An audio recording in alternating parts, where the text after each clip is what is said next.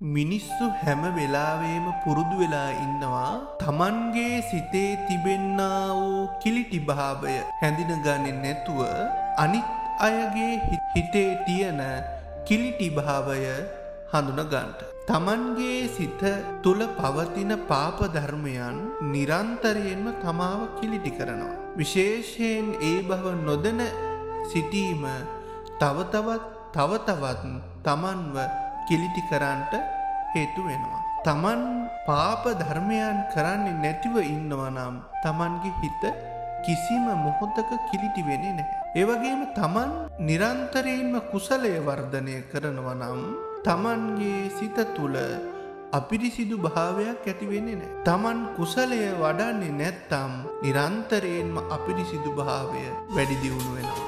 කුමක්ද කාරණය? හිත අපිරිසිදු නිසා. එනිසා හැම වෙලාවකම කල්පනා කරන්න ඕනේ කාරණයක් තමයි අපි අනුන්ගේ හිතේ පිරිසිදු අපිරිසිදු භාවය හොයාගන්ට ඉස්සරලා තමන්ගේ සිත තුළ තිබෙන්නා වූ පිරිසිදු අපිරිසිදු භාවය පිළිබඳව දැනගන්ට ඕන කියන කරලා. ඒක තමන් අවබෝධ කරගන්ට ඕන. එතකොට තමන්නේ තමන්ගේ සිතේ තිබෙන පිරිසිදු අපිරිසිදු භාවය පිළිබඳව අවබෝධයකින් කටයුතු කරනවා නම් ඒක තමන්ගේ යහපත පිණිස පවතිනවා. ඒක ඉතාමත් උදාර කාරණාවක් බවට පත්වෙනවා.